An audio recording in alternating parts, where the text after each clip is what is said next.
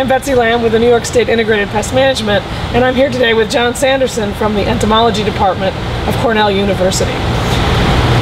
And so today we're going to talk about um, some things that you can find on sticky cards. We were looking at sticky cards in the crop, and I noticed that there were some small black fly-like objects, and John tells me that one of those types of insects is the fungus gnat. So what is a fungus gnat, and why is it important that you not have them in your greenhouse?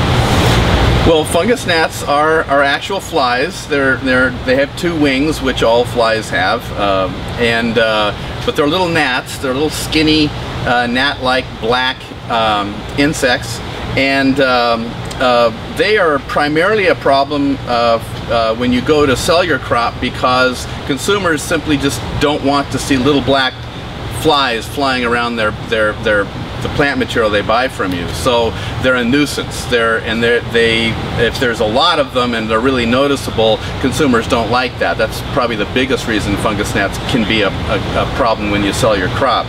But they also the larval stage that lives in the soil can actually feed on the plant roots. Um, uh, they can uh, girdle the roots or chew them up um, and uh, their problems because of direct damage that they can do to, to roots.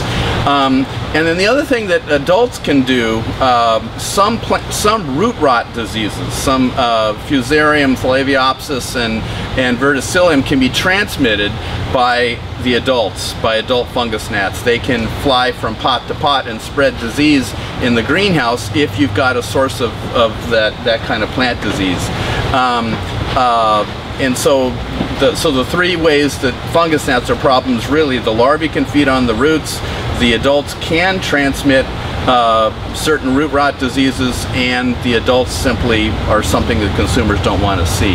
Um, uh, those are the, the main reasons fungus gnats are problems.